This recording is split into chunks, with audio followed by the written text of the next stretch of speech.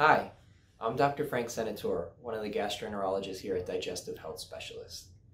Today I'm going to talk with you about how frequently you should have repeat screening for colon cancer. The answer to this question is largely based on the type of test that you have performed.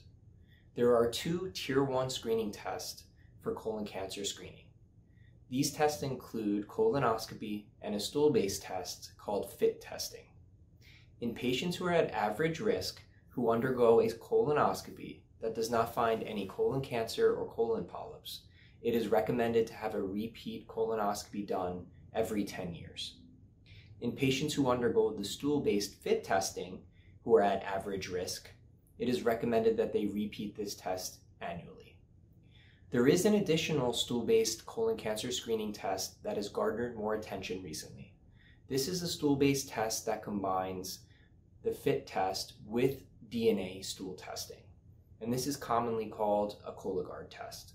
In patients who undergo this test, which is a tier 2 recommendation for colon cancer screening, they should undergo this test every three years. There are a separate group of patients who are at higher risk for colon cancer, and in these patients, the recommended screening intervals are slightly different.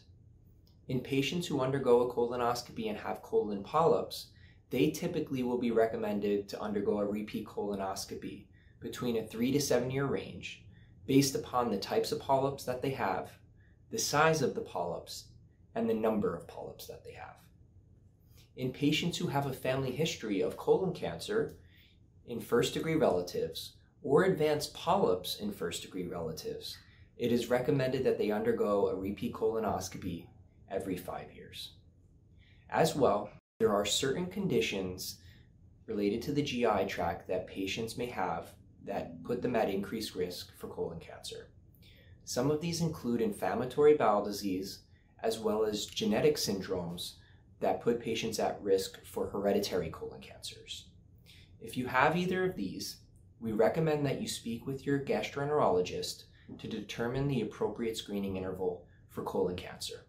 I hope that you found this information helpful.